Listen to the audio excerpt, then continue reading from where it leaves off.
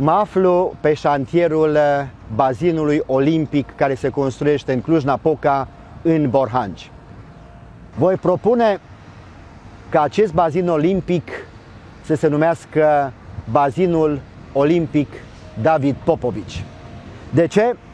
Pentru că David Popovici, dincolo de performanța extraordinară pe care o are, fiind cu adevărat un tânăr de aur și la propriu și la figurat, el inspiră tânăra generație, el inspiră pe oricine că iată se poate reuși. M-a impresionat profund mesajul lui când a spus dacă eu am reușit și voi puteți reuși. Cum a pornit ideea construcției bazinului olimpic? În primul rând, este nevoia Clujului de a avea o infrastructură de natație de ultimă generație care să poată da șansa tinerilor și nu numai să practice sportul și de asemenea să ajungă să facă performanță. În al doilea rând, am avut uh, o discuție cu domnul Mihai Covaliu, președintele Comitetului Olimpic Român, și cu doamna Camelia Potec, președinta Federației Române de Natație, care au susținut convingător nevoia unei infrastructuri de specialitate în afara Bucureștiului pentru susținerea notului și a sportului de performanță în acest domeniu. Și în ultimul rând, am fost inspirați de reușitele și de performanța lui David Popovici. La acea vreme campion european, campion mondial și toate aceste trei elemente ne-au determinat ca noi clujenii, pe banii noștri, din fondurile Consiliului Local, a bugetului municipiului Cluj-Napoca, să începem construcția acestui bazin olimpic, care valorează 28 de milioane de euro, 3 milioane de euro rețelele, 25 de milioane de euro bazinul propriu-zis. În 9 mai 2024, șantierul bazinului olimpic arăta așa. Astăzi, șantierul bazinului olimpic din Borhanci arată, după cum puteți observa, s-au făcut lucrări de escavare și de copertare a terenului și până în acest moment au fost escavați aproximativ 100 de mii de metri cub de pământ care au fost transportați aici în această zonă și se poate observa în acea zonă unde au fost escavați.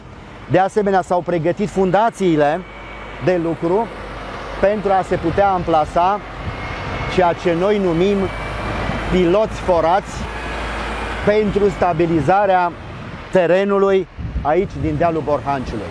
Începând de săptămâna viitoare vor fi amplasați aici 745 de piloți forați la o adâncime cuprinsă între minim 6 metri și maxim 18 metri pentru a stabiliza construcția bazinului olimpic, având în vedere că acest deal al Borhanciului, ca de altfel toate dealurile Clujului, sunt extrem de mișcătoare și avem nevoie de stabilizarea lor pentru a putea face construcții de calitate și de durată. Acest bazin olimpic va fi pe trei nivele și va putea desfășura competiții de nivel local, național, european și mondial, pentru că bazinul are dimensiuni olimpice. Vor putea fi organizate competiții nu numai de not, dar și de altă natură. De asemenea, acest bazin va fi dat clujenilor pentru a putea să facă inițiere în not, de asemenea pentru cei care vor fi mediu sau pentru cei care vor fi avansați în acest domeniu, deci în egală măsură pentru notul de masă, dar și pentru performanță. Clujenii merită o asemenea infrastructură și sunt convins că foarte mulți tineri, foarte mulți clujeni de toate vârstele vor practica notul, în primul rând ca și mod de viață, ca stil de a face activitate sportivă, dar și pentru cluburi și pentru sportivi de a putea să aibă un loc unde să se antreneze și să facă performanță la cel mai înalt nivel. Bazinul olimpic va avea de asemenea uh, gradene, vor putea fi o mie de spectatori prezenți ca să vadă competițiile care se pot desfășura aici. Lucrarea este prognozată a fi finalizată la sfârșitul anului 2025, dacă nu apar alte elemente pe parcursul iernii care să determină prelungirea lucrărilor.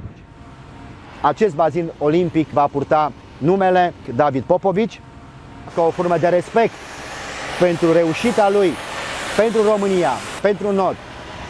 Și eu n-am să uit niciodată cel mai mare cadou pe care l-a putut face vreodată vreun român imnului național a fost când în ziua de 29 iulie, ziua imnului național al României, alături de drapelul național pe cel mai înalt catarg, s-a intonat în arena olimpică de la Paris imnul național al României atunci când David Popovici a câștigat medalia de aur la 200 de metri.